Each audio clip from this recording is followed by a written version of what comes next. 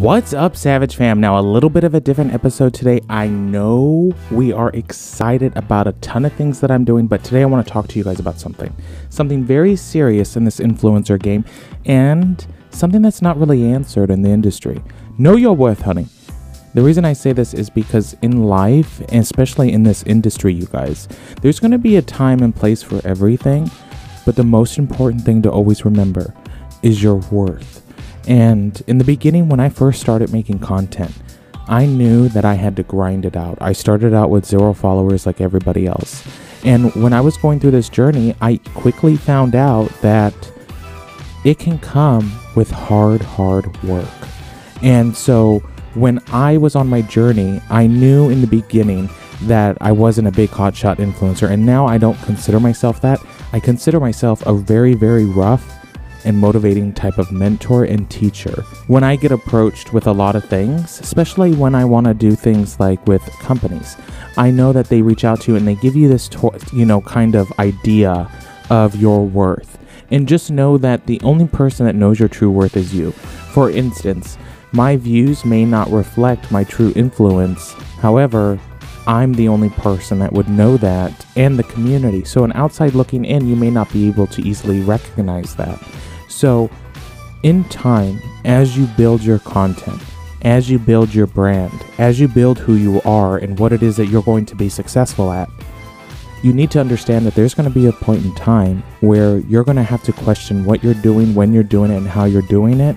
Because at some point, you may or may not be faced with an ethical decision on your part. And the reason I bring this up is because through my journey, I've done my best to help as many people as I can and touch as many lives as I can. And you also have to keep in mind that you cannot help people if you do not keep your sanity and keep your worth. And this is because this industry can definitely consume you. And it is okay to take a step back, do a rebrand, and know your worth and keep pushing. Because in life, the only person that will have your back the fullest is yourself.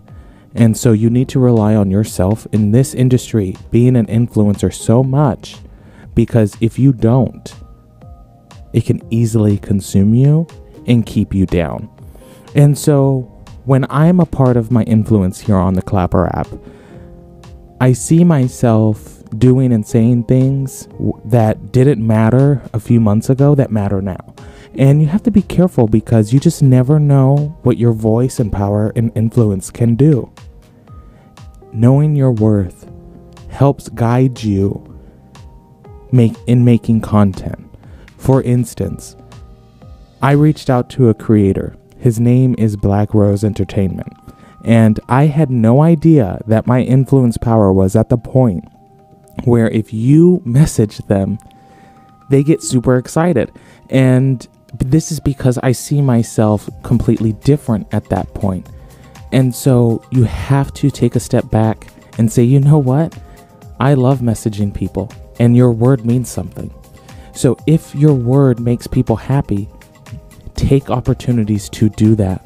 But also keep your worth in mind, keep your sanity, and keep what you're doing. This industry, as much as much fun as it is, it can consume you and keep you down, like I said. But if you allow it to, I was faced with a lot of drama on my platform, and that comes in this industry.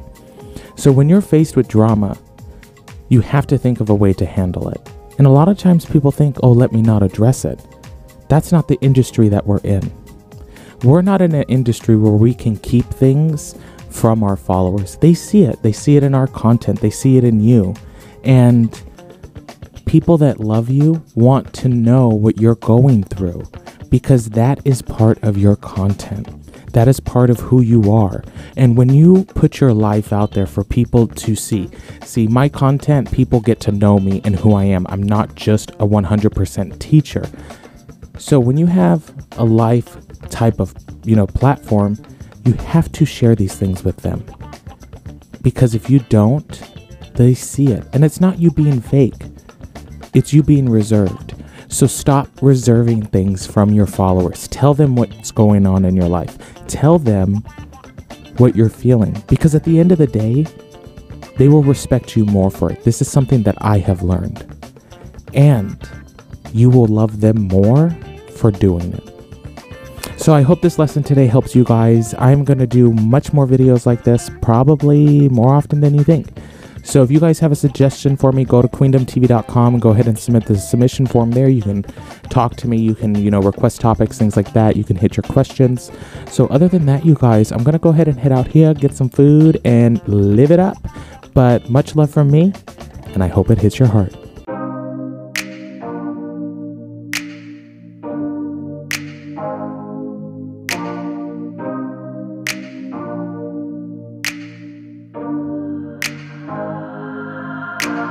Música